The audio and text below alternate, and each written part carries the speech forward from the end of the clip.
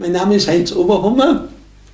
Ich war früher Professor für theoretische Physik an der Technischen Universität Wien. Seit meiner Pensionierung 1900, 2006 äh, mache ich jetzt hauptsächlich Wissenschaftskabarett.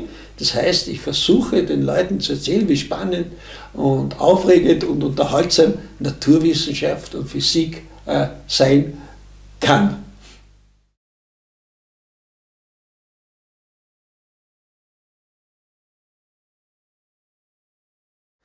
Was ist Wissenschaft? Also Wissenschaft ist die Methode, wie man Wissen gewinnt. Und da hat die Wissenschaft etwas ganz Tolles gefunden, nämlich dass sie alles überprüft, checkt, kritisiert. Das heißt, das heißt im Englischen Peer Review System, das heißt, jede wissenschaftliche Arbeit, die man einreicht, wird von Gutachtern überprüft ob die wissenschaftlich eben hieb- und stichfest ist. Das heißt, die Ergebnisse, Erkenntnisse, Entdeckungen der Wissenschaft ändern sich immer. In zehn Jahren werden diese anders sein als heute und sie waren vor zehn Jahren anders. Das äh, unterscheidet die Wissenschaft von anderen Welterklärungssystemen, wie zum Beispiel religiösen oder, oder esoterischen Glauben, dass es immer äh, überprüft wird. Viele Menschen glauben ja, dass äh, der Fortschritt in der Wissenschaft hauptsächlich durch Genies wie Albert Einstein und so weiter geschieht. Das stimmt nicht. Das ist diese Methode, die das geschaffen hat, was wir heute äh, vor uns haben. Zum Unterschied ist religiöser, esoterischer Glauben, was auch immer, der ist fundamentalistisch, statisch, ändert sich nicht, äh, konservativ.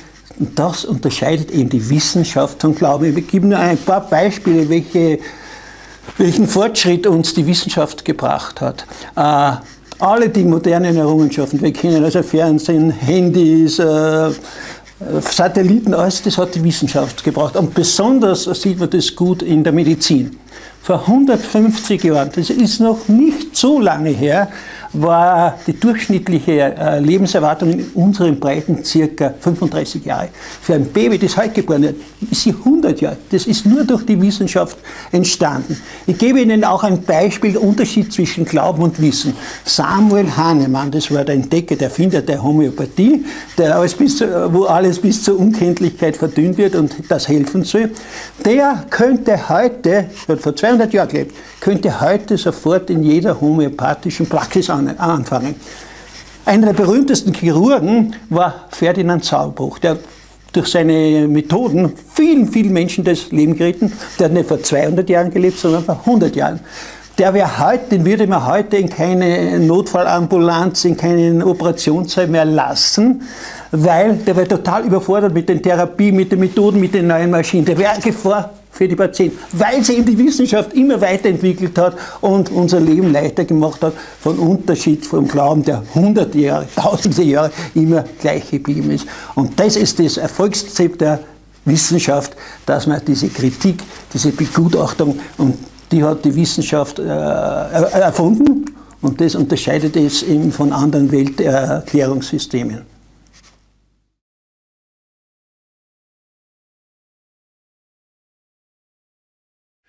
Also die Erkenntnisse, die wir bis jetzt gewonnen haben, ist so, dass wir mit der Wissenschaft äh, niemals alles erklären wird können, weil je mehr Antworten, das wir bekommen von der Natur, vom Universum, umso mehr neue Fragen tun sich auf. Das heißt, äh, die Grenze zwischen Nichtwissen und Wissen, die wird sogar immer größer wie so eine Kugel, wie so ein Ballon, den man aufbläst.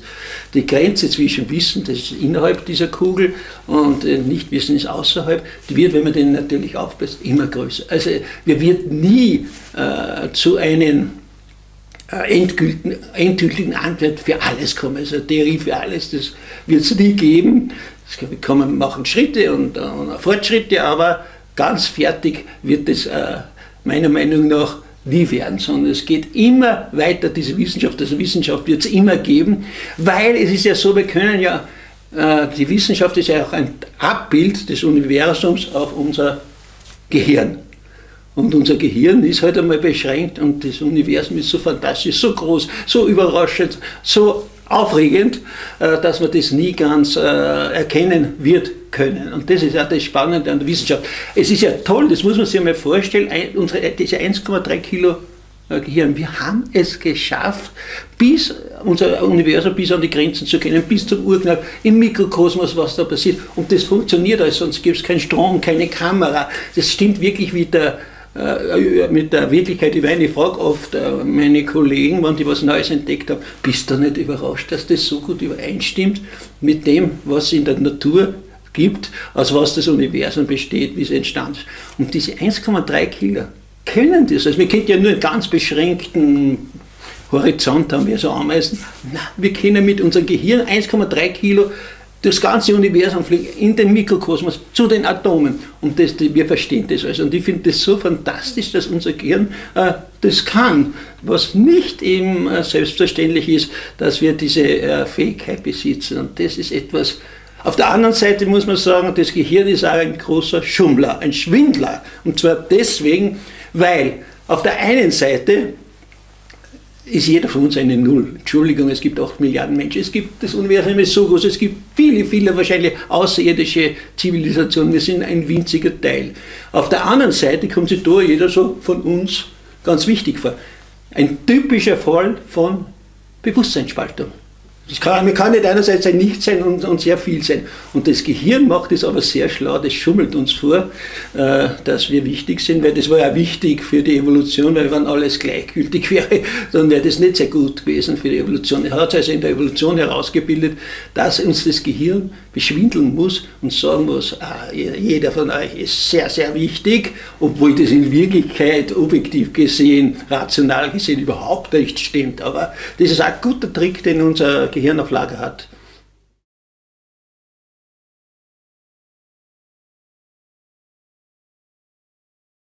dieser Vorteil der Astronomen ist, sie können ja in der Vergangenheit schauen. Das ist das Tolle, weil, nehmen wir an, ein, ein Stern explodiert 1000 Lichtjahre entfernt, dann braucht ja das Licht 1000 Jahre bis zu uns kommt. Das heißt, wir sehen den Stern nicht, wie er jetzt ist, sondern wie er vor 1000 Jahren war. Wahrscheinlich ist dort gar kein Stern mehr, weil er ja explodiert ist. Und dadurch können die äh, Astronomen in die Vergangenheit schauen. Und zwar das Verblüffende ist bis zum Urknall praktisch durch die sogenannte Hintergrundstrahlung, das ist eine Strahlung, die entstanden ist beim Urknall und die können wir heute noch äh, beobachten. Die ist 13,8 Milliarden Jahre alt. So lange war das Licht unterwegs von Urknall, von der Vergangenheit äh, bis zu uns. Und dadurch können wir auch lernen, was beim Urknall passiert ist. Und der Urknall, äh, das, der erste Teil des Urknalls kommt dann noch auf einen noch früheren Zeitpunkt, ist äh, die sogenannte Inflation. Inflation heißt ja nichts anderes als Aufblähung. Das heißt, im ersten Bruchteil einer Sekunde hat das Universum gewaltig aufgebläht. Inflationäre Aufblähung nennen wir das, inflationäre Expansion. Und dann ist es langsam geworden und heute hat es nur mehr so eine Restgeschwindigkeit, kann man sagen, mit der es sich weiter ausdehnt. Äh, so, aber was war da, wie ist diese Inflation entstanden? Und da gibt es ein Feld, heißt Inflatonfeld, dass es wirklich solche äh, Felder geben kann, wissen wir seit dem Higgs-Teilchen, das wir ja vor kurzem entdeckt haben. Auch da durchzieht das Universum ein Feld, nämlich das Higgs-Feld, dass es so etwas geben kann. Und diese, dieses Inflatonfeld, das hat eine höhere Energie. Und an gewissen Stellen durch quantentheoretische Fluktuationen kann ein, kann ein neues Universum entstehen, also ein sogenanntes Blasenuniversum. Und so ist auch unser äh, Universum entstanden. Was man gleich dazu sagen muss, wir wissen nicht alles. Das meiste, die meisten, das meiste, aus dem unser Universum besteht, nämlich 95 Prozent, ist nicht normale Materie, die wir halt kennen, aus denen wir bestehen, die Planeten, die Sterne, sondern das ist die sogenannte dunkle Energie, macht ungefähr zwei Drittel des Universums aus, dunkle Materie ungefähr ein Viertel. Und wir wissen eigentlich nicht, was das ist peinlich für die Physiker. Wieso, woher wissen wir das dann, dass die dunkle Materie geben muss? Nun, weil das ist ganz einfach. Äh, wenn man die Sterne äh, kreisen ja um Galaxien. Galaxien sind nichts anderes als, als Ansammlungen von Sternen und das Zentrum von Galaxien. Und wenn es die dunkle Materie nicht geben würde, die zusätzliche Schwerkraft durch die dunkle Materie, dann würden die Sterne einfach durch die Fliege auch rausfliegen. Tut es nicht, daher muss dort was Zusätzlich sei das nicht mehr dunkle Materie.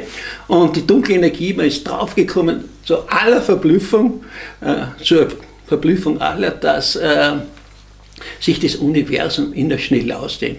Wird man nie erwarten, weil die Sterne, die Galaxien, die ziehen sich ja durch die Schwerkraft auf, die sollten abgebremst werden. Nein, die werden immer schneller. Und die Energie, die das bewirkt, äh, nennt man eben dunkle Energie. Wenn ein Auto am Berg steht und das fährt bergauf nicht mehr auch an, da ist ein Motor drin, dann muss in der Energie sein. Oder ich gehe gerne Skifahren und da, stellen wir uns vor, ich sitze dann auf der Hütte und auf einmal fahren auf dem Gegenhang alle Skifahrer bergauf. Äh, Wäre aber sehr verblüfft. Aber da muss irgendeine Energie sein und tatsächlich ist da drüben Energie, nämlich ein, ein, ein Skilift, der, der raufzieht. Und genauso braucht man Energie, um das Universum zu beschleunigen gegenüber der Schwerkraft der Galaxien. Also man weiß bei weitem nicht alles. Ich bin aber überzeugt, dass in der nächsten Generation wir auch dieses Problem lösen werden, woraus besteht die dunkle Materie und die, die dunkle Energie.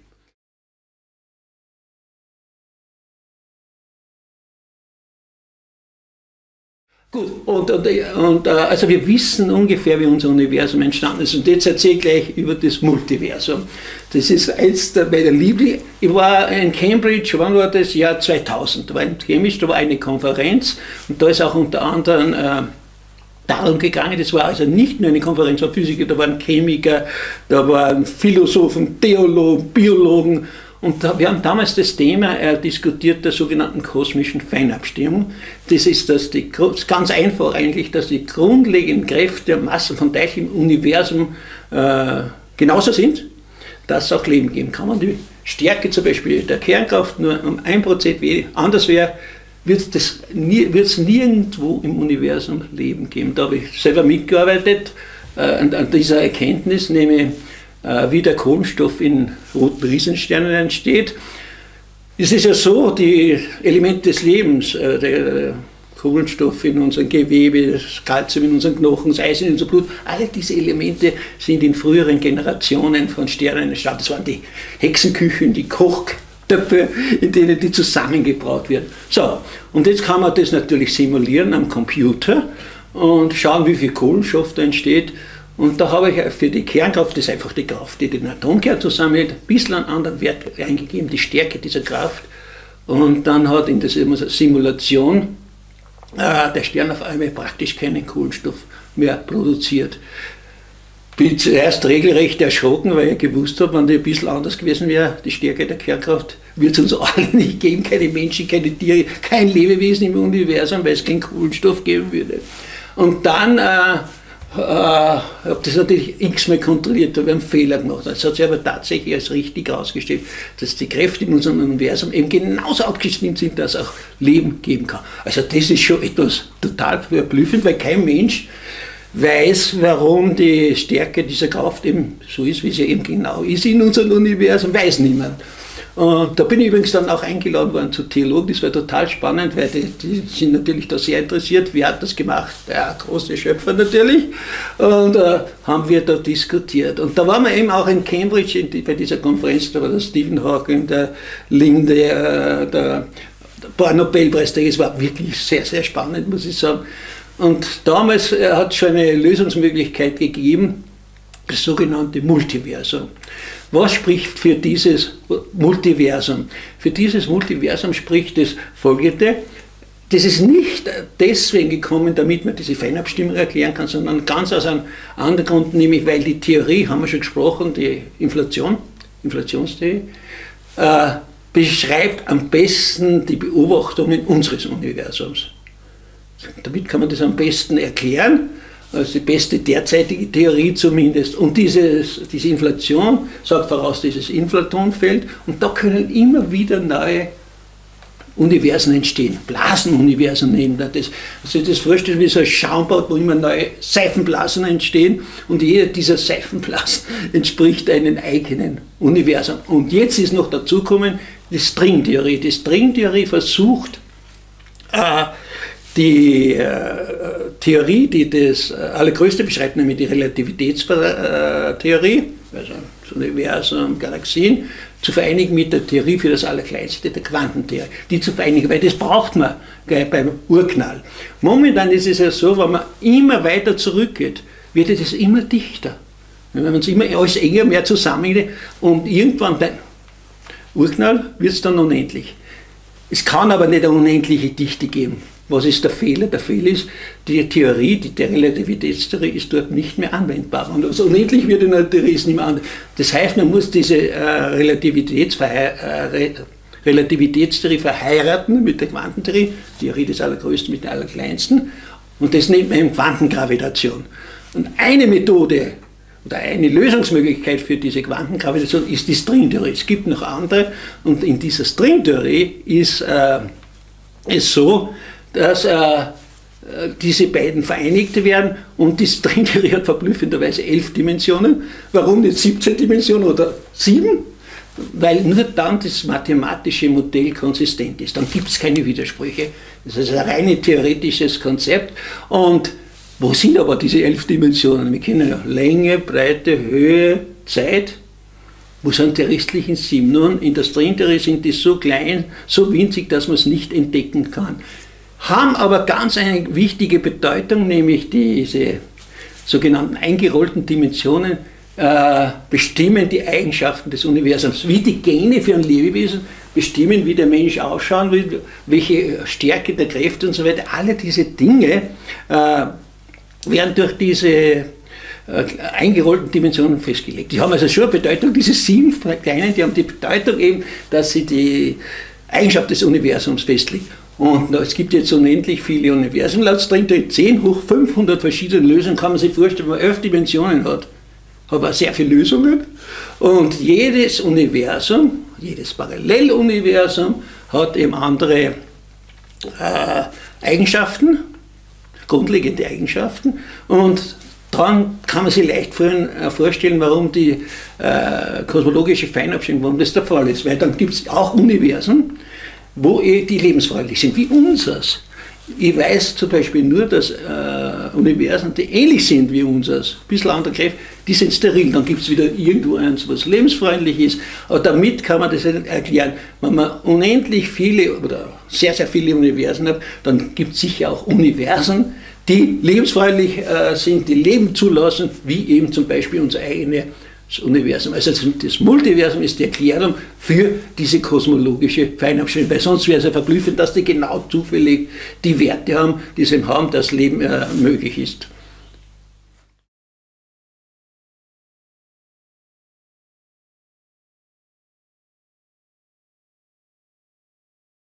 Man darf ja nicht vergessen, diese Stringtheorie hat leider noch keinen einzigen experimentelle Voraussage gemacht, die man äh, verifizieren konnte. Ist aber auch nicht verwunderlich, weil diese Stringtheorie, diese Lösungen, vielen Lösungen beschreiben ja alle Universen. Jetzt kann es nicht ein spezielles Universum beschreiben wie unseres. Also es ist eher ein theoretisches Konzept. Eins will ich auch noch sagen zum Multiversum, das ist interessant insofern, man wird sie wahrscheinlich nie beobachten können, weil die in einer eigenen Dimension sind. Eigentlich, da komme ich nie hin, da komme ich nie hin, weil eben die in einer eigenen Welt sind. Außerdem sind, fliegen die so schnell auseinander, die äh, Paralleluniversum, weil sie dazwischen dieses Inflatonfeld ausdehnen, sodass sie nie zusammenkommen. Wie kann da, ist das noch Physik? Es gibt manche Physiker, die sagen, die sind da skeptisch, die sagen, das ist Metaphysik, hat mit Physik nichts mehr zu tun, weil man es nicht beobachten kann. Ich sage immer so, es war ja so vor ein paar hundert Jahren, haben die Menschen auch schon angenommen, dass die Erde eine Kugel ist. Das stimmt nämlich nicht, dass die meisten Menschen damals angenommen haben, eine Scheibe. Die, äh, seit der Antike, äh, die intelligente Schicht, die gebildete Schicht hat immer angenommen, die Erde ist eine äh, eine Kugel, warum? Weil wenn ein Segelschiff gekommen ist über den Horizont, hat man zuerst den Masten gesehen und den Rumpf. Muss man annehmen, dass die Erdoberfläche gekrümmt ist und wenn man das fortsetzt, äh, kommt man eben auf eine Kugel. Damals ist auch noch niemand um die Erde gesegelt oder geflogen. Trotzdem hat man das Richtige angenommen. In der Situation sind wir jetzt. Die Eigenschaften unseres Universums sagen voraus, dass unendlich es ein Multiversum geben soll mit vielen Paralleluniversen. Aber beobachtet haben wir es noch nicht. Also auf, auf, wissenschaftlichen Vermutungen begründet die Annahme, sage ich immer. Also ich bin zum Unterschied von anderen, zum Beispiel von äh, Kollegen Lesch, der Meinung, dass das nicht nur äh, eine Fantasie ist der Menschen, sondern es hat sich oft herausgestellt, wenn eine, äh, ein Modell, eine Theorie so gut begründet ist, auch wenn man das noch nicht beobachtet, dass es äh, richtig ist. Also das beste Beispiel ist Albert Einstein natürlich, der die Relativitätstheorie vorausgesagt hat. Das hat sich dann hunderte Experimente hat es bis heute gegeben, auch für die Quantentheorie und alle stimmen damit hochpräzise überein.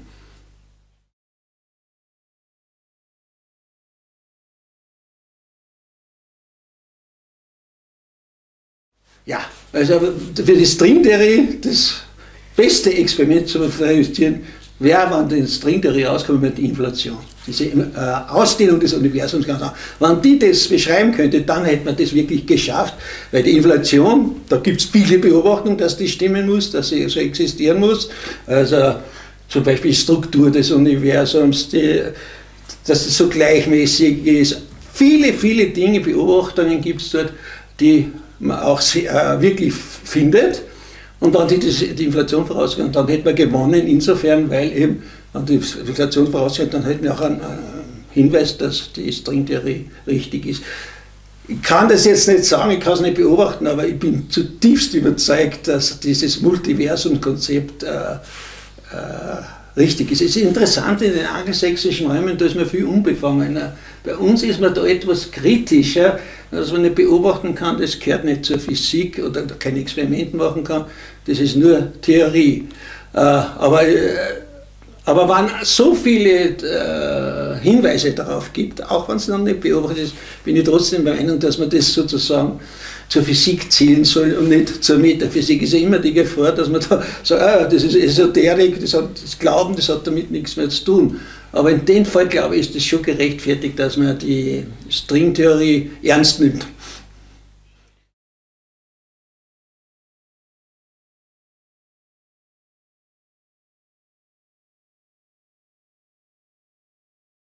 Aber es ist eine einfache Erklärung. Natürlich. Es ist die einfachste Erklärung, es gibt was, was Höheres. Es ist ein Satz.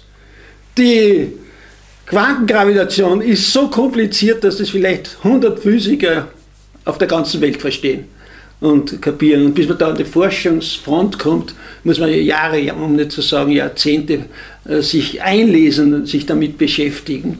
Also das ist echt kompliziert. Äh, Religion ist das einfachste, also die einfachste Erklärung. Aber dann ist eben, wie gesagt, dieses große Problem, wer hat äh, äh Gott geschaffen? Also wenn man sagt, Gott ist die Erklärung für die Welt, dann muss man ja sagen, wer hat den Gott dann geschaffen und den Gott des Gottes? Und da kommt man so eine unendliche Frage-Antwort-Spirale hinein, das löst eigentlich gar nichts. Und dann, aber die Theologen sagen ja dann, dass, oder manche Theologen sagen dann, dass Gott sich selbst erschaffen hat. Aber das kann das Universum auch. Ein Universum kann entstehen aus dem Nichts. Weil es ist ja so in unserem äh, Universum, mathematisch kann man sich nichts vorstellen. Da ist halt wirklich gar nichts. Aber realisiert ist es nirgendwo in unserem Universum, weil es immer Quantenfluktuation. Es gibt nicht nichts. In unserem Kopf, okay. Aber in, in, in, in der Wirklichkeit gibt es äh, ist immer sind Quanten. Es ist wie so ein See, wo immer Teilchen entstehen und wieder vergehen. Äh, das, ist, das ist das physikalische Vakuum. Das gibt es. Aber mathematische gibt es nicht. Und aus so einem äh, physikalischen Vakuum mit so Quantenfluktuation können wir auch immer neue Universen entstehen.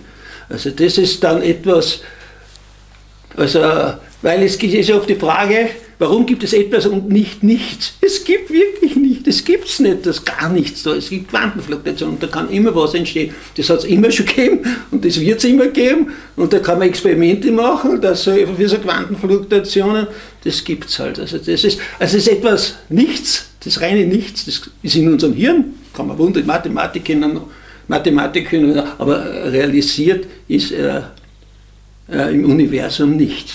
Und daher wenn es nicht realisiert ist, dann brauche ich es ja gar nicht berücksichtigen. Genauso nicht wie ein äh, hundertdimensionales Universum berücksichtigen muss, weil das gibt es nicht. Kann man ausdecken, können die Mathematiker sogar die Fläche, Kugelfläche ausrechnen, Kugelvolumen, kein Problem. Nur realisiert im Universum ist es nichts.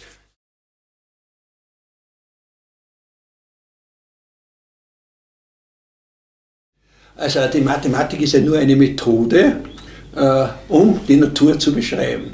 Dass die so fantastisch und genau passt auf unser Universum, ist eher verblüffend. Ist, so, weiß man, weil alles unsere mathematischen Berechnungen in der Quantentheorie bis auf 14 Stellen, 14 Kommastellen genau übereinstimmen, was vorausgesagt wird mit den Beobachtungen. Es stimmt, aber es ist schon verblüffend.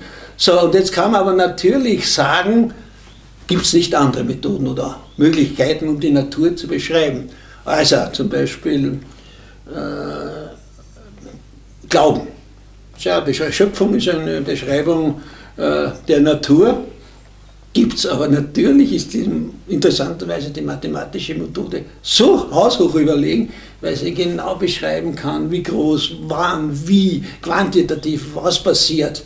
Es sind nicht nur Geschichten, sondern es stimmt tatsächlich und das kann man tagtäglich beobachten, sonst wird die Filmkamera nicht funktionieren. Die Quantentheorie ist sowas von unanschaulich. Also, dass ein Elektron ein Teilchen der Welle ist, kann sich nicht einmal ein Nobelpreisträger vorstellen. Aber es funktioniert, weil wenn die Quantentheorie nicht stimmt, wird nichts da rundherum, das wir da haben, äh, äh, äh möglich sein. Und das ist also das ist die Methode, die mathematische Methode, die sie erwiesen hat, am besten erwiesen hat, um die Natur zu beschreiben. Fantastisch. Ist, ist aber nicht selbstverständlich. Es ist so, sind wir froh. Das hat uns diesen großen Fortschritt gebracht, dass die Mathematik die, die Natur so gut beschreiben kann. Es ist aber so, äh, das ist ja eines der tollsten Leistungen in Mathematik, äh, äh, nämlich wenn ein Kind äh, 2 plus 2, wenn ich drei, vier Jahre macht es 2 plus 2 ist 4. Nicht zwei Autos plus zwei Autos ist vier Autos, das ist leicht, oder zwei Äpfel plus zwei Äpfel ist vier, sondern abstrakt. 2 plus 2. Die Zahl 2 gibt es im ganzen Universum, nicht nur da drinnen. Und 2 plus 2 ist 4, erst recht nicht. Und das ist natürlich abstrahieren. Und das hat schon auch in der Menschheitsgeschichte einen Sinn gehabt, weil der Urmensch gestanden ist und hat nur äh, gesehen, hinterm Busch den, den Schwanz vom äh, Tiger, Säbelzahntiger. Dann war es gut, dass man abstrahiert hat, dass vorne noch ein Gebiss dran ist. Hat geholfen, also diese Abstraktion. Und das hat eben der Mensch immer weiterentwickelt, bis zu Dingen, Räumen, das, die man sich gar nicht vorstellen kann, äh, die aber, die aber Teile der Mathe, Großteile der Mathematik braucht, lässt sich nicht auf die Natur anwenden, ich meine, das, oder ist irrelevant, ist nicht von Bedeutung. Aber der, der sich anwenden lässt, das beschreibt es so fantastisch, äh, dass man eben sagt, das ist die Sprache der Naturwissenschaften, was natürlich stimmt. Ohne Mathematik gäbe es keine Naturwissenschaft. Man könnte natürlich schon beobachten und das irgendwie beschreibend darstellen, haben wir ja auch gemacht. Aber den großen Fortschritt äh, in den, in den Naturwissenschaften ist schon der, der Mathematik zu verdanken. Äh, ich sage immer zu meinen theoretischen Physikerkollegen, sage ich, die was Neues, Tolles entdeckt haben, seid ihr nicht verblüfft, dass das mit der Natur ja. übereinstimmt? Und die sagen, naja, nein, eigentlich nicht, das ist so super. Aber es ist nicht selbstverständlich, dass alles, was wir uns da in unserem Hirn ausdenken, so gut passt auf die Vorgänge in der Natur.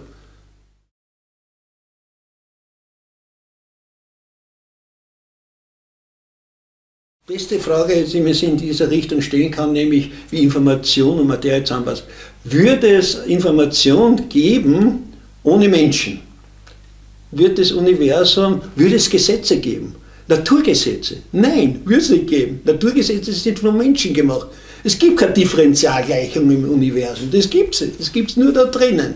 Das heißt, die Information ist da drinnen äh, und nicht äh, da draußen. Das Universum macht, was will. Wir interpretieren das mathematisch sehr erfolgreich.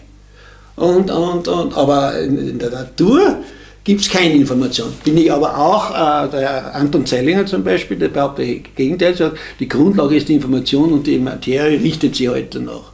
Ich sage, es gibt die Materie, ich bin in diesem Sinne Materialist, äh, und wir beschreiben das nur durch Informationstransformationen, äh, Mathematik. Äh, und das gelingt uns sehr, sehr gut. Aber ich glaube nicht, dass da draußen jetzt Information gibt, in diesem Sinne. Das, das ist ein menschliches Wort. Information ist ein menschliches Wort. Also gut, man kann sagen, das Elektron hat positiv geladen sein oder negativ geladen oder was immer und das ist eine Symmetrie, aber das ist alles nur da drinnen. Das Elektron ist ein Elektron mit seinen Eigenschaften, aber Gesetze, Naturgesetze, Schwerkraft, die sind vom Menschen gemacht. Gesetz ist vom Menschen gemacht. Nur in der Natur ist es eben so, dass da die Gesetze wirklich strikt sein. Mit Steuergesetz ist man nicht so, da schummelt man ein bisschen manchmal. Also bei juristischen Gesetzen, den Menschen, aber die Naturgesetze, die gelten immer und überall.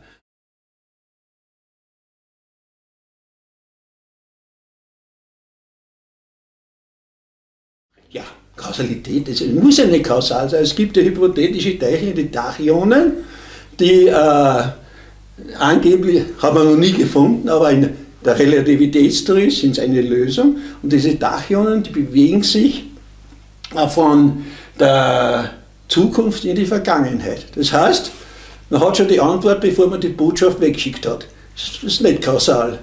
Aber es ist theoretisch möglich. Das heißt, das sind alles nur Konzepte in unserem Hirn. Und warum, warum Kausalität? Weil das auf unser Universum passt. Das ist überhaupt kein Problem, weil sie das als erfolgreich herausgestellt hat in der Beschreibung der Natur. Aber es muss nicht so sein. Es ist, man könnte sich auch was anderes, oder man kann sich was anderes ausdenken. Also Zeitumkehr kann man, in der Quantentheorie kann man das machen. Zeit durch die, dass die Zeit nicht von der Vergangenheit in die Zukunft läuft, sondern verkehrt. Ist nicht verboten. Nur realisiert im Universum ist nicht. Aber das sind alles menschliche Konzepte die eben angewandt werden, weil sie aufs Universum passen.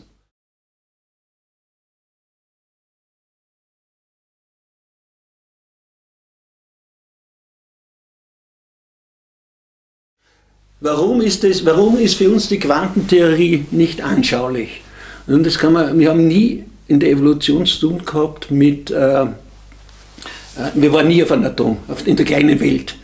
Ein Lebewesen, das auf einem Atom äh, wohnen würde sich äh, entwickelt hätte, für die würde ich sagen, haha, die Menschen sind, sind, sind schon komisch, für die ist es nicht anschaulich, dass ein Elektron ein Teilchen und eine Welle ist. Unser Gehirn hat sich so angepasst, optimal an die Umwelt, dass er möglichst gut zurechtkommt. Das ist ja der Sinn in der Evolution, dass man möglichst gut mit der Umwelt zurechtkommt. Und da ist wichtig, dass man möglichst getreues Abbild der Umwelt hat, was anschaulich ist.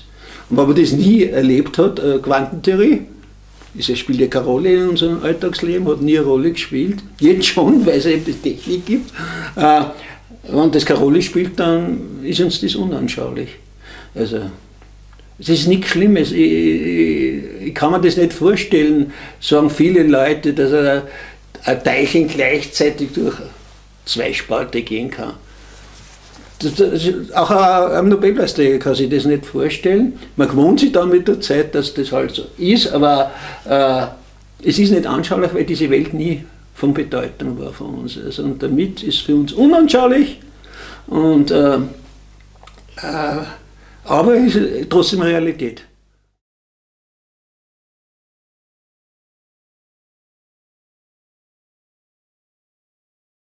Sie, das muss man sich mal vorstellen, das Gehirn beginnt sich jetzt selbst zu untersuchen. Die ganzen Gehirnscans und was da es gibt. Also das finde ich total fantastisch. Was mache ich, was macht mein Bewusstsein? Forsche ich jetzt selber heraus, mich selbst zu untersuchen. Und das finde ich, ich werde heute zu der Hirnforschung äh, studieren oder meinen Kindern das anraten, weil das, das ist nur viel, weil das, irgendwo ist man auch schon so weit, dass man viele der Dinge der was das Gehirn macht, man sagt, das ist der Geist und das Bewusstsein, das ist überhaupt nichts Geheimnisvolles mehr. Das kann man mit Gehirnscans nachvollziehen. Man kann eine Elektrode reinstecken in ein gewisses Zentrum und dann lacht der Mensch unbegründet. Ha, ha, ha. Und wenn man ein bisschen Strom tut, also das ist echt, das manipuliert an sich selbst herum jetzt schon, das Gehirn. Es gibt das Bewusstsein oder irgendeine Gehirnfunktion, die ganz fantastisch ist und das kannst schon selbst, es gibt schon so eine Selbstreferenz, also dass er sich selbst beschreiben kann. Natürlich wieder mit den Methoden des Gehirns.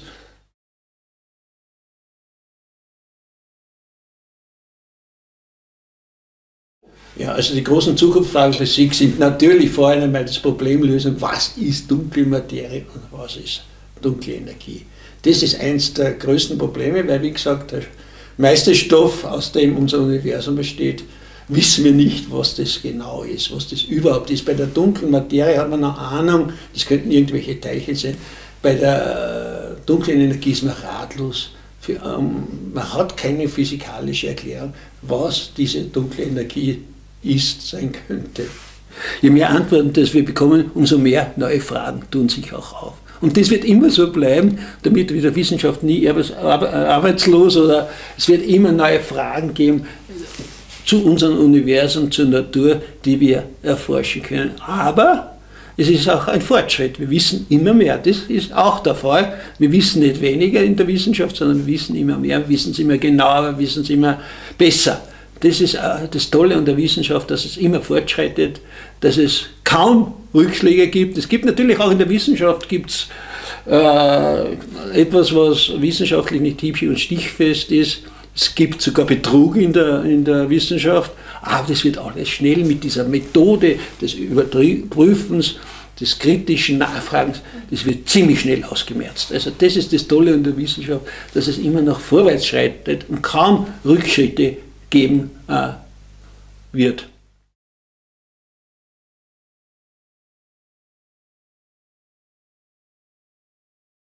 Und wenn man sich vorstellt, wie groß unser Universum ist, also allein die Sterne in unserem Universum sind 10 hoch 22 Sterne, also 1 mit 22 Nullen dahinter, kann man sich jetzt aber gar nichts vorstellen. Aber unser, unser Professor hat einmal erzählt, es gibt so viel Sandkörn auf der Erde, auf, auf, den, auf den Strängen der Erde, wie es Sterne gibt. Und da man damals denkt, wir sind ja immer da gefahren an die Adria, das ist, der ist an Drogen, das gibt es nicht, dass es so viele Sterne gibt. Also wenn man rechnet, kann man leicht ausrechnen, 10 Meter in der Strandbreite, 1 Meter Tiefe und hunderttausende Kilometer Länge der Strände. Und jeder Stern entspricht, oder jedes Sandkorn entspricht einem einzigen Stern. Und wir wissen auch, wo die Sterne sind, wie sie aufgebaut sind, wie sie alt sind, wie sie zusammengesetzt sind. Von all diesen Sternen wissen wir, wie Sandkörner äh, auf, auf allen Stränden der Erde. Und das sind einfach, wie großartig, fantastisch, riesig das Universum ist. Und wir können das auch noch äh, erkennen in unseren, mit unserem Gehirn. Und da flippe ich fast immer aus, weil man könnte bis an die Decke springen, wie, das, wie fantastisch das Universum ist. Und dass wir das alles auch äh, wissen können.